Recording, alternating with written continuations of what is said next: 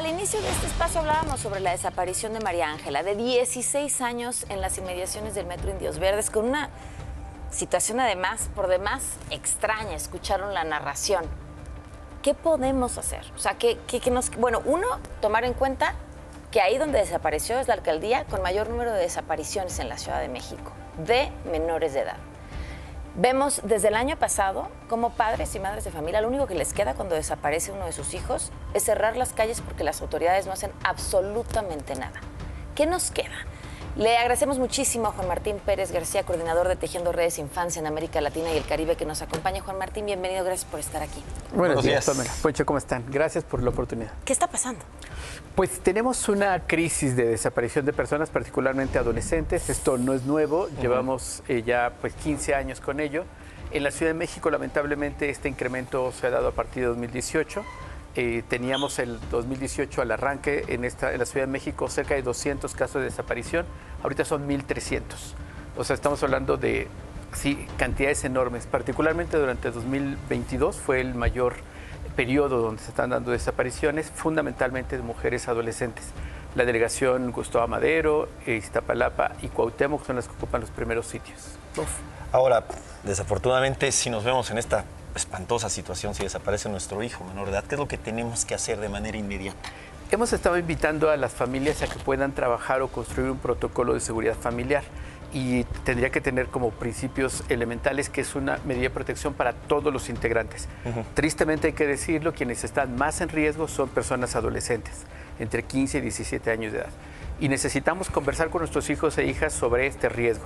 Lo que acaba de suceder en Indios Verdes, lo que ese mismo día desaparecieron otras niñas más, eh, de las cuales no fue el tema mediático.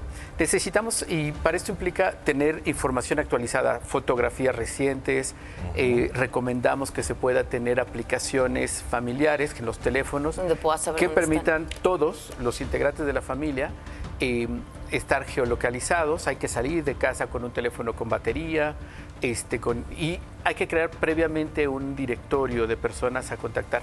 Y ahora el protocolo específico que recomendamos es que tiene que haber acuerdo de conocer todas y todas la ruta, es decir, a dónde voy, con quién, y si en cierto tiempo acordado no se tiene conocimiento, no se responde las llamadas, se busca el segundo círculo de personas con las que posiblemente estarían eh, y en este caso hay que reportarlo a las autoridades.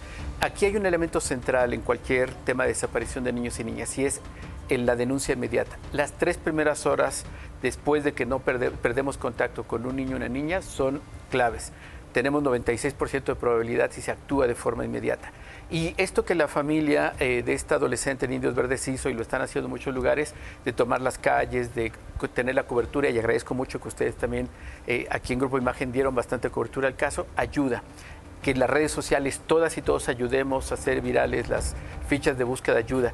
Así es que hay que prepararse, literalmente con quién podemos tomar la calle, a qué autoridad recurrimos. Hay ya números de emergencia, desde 911 hasta en Internet uno puede encontrar para el Sistema Nacional de Búsqueda, hacer el reporte, insistiendo que esto es inmediato.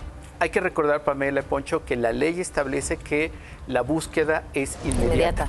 No tiene que haber una carpeta de investigación, no hay que esperar 24 o 72 horas, es inmediato, porque un niño o una niña que no está con su familia o con una autoridad está en riesgo. ¿Sospechamos, sabemos qué hay detrás de este momento en las desapariciones? Sí, claramente en el caso específico de las personas adolescentes, el crimen organizado o lo que llamamos redes de macrocriminalidad. ¿Trata personas? Sí, eh, con fines de explotación sexual. Y esto hay que dejarlo claro, Pame y eh, eh, Poncho, esto tiene implicación de autoridades. Esto no puede, tenemos en el país 18 mil niños y niñas, sobre todo personas adolescentes desaparecidas desde hace más de una década, y esto no sucede sin la participación de autoridades. Por supuesto están los grupos criminales, y esto implica, y eso es otro elemento importante del caso de Indios Verdes, necesitamos presión para que las autoridades cumplan con su responsabilidad. Sí se puede, la encontraron, hay este, coordinación entre autoridades de distintos, pero sobre todo los presuntos criminales se sintieron presionados para devolverla con vida. Necesitamos información para evitar especulaciones y sobre todo animaría eh, también a todos y todos, ahora sí ya borrar por favor el nombre de esta chica, borrar su ficha de búsqueda y en adelante las menciones a ella tienen que ser protegiendo su identidad como lo establece la ley. Muchas gracias por la visita. Gracias, Poncho. Gracias.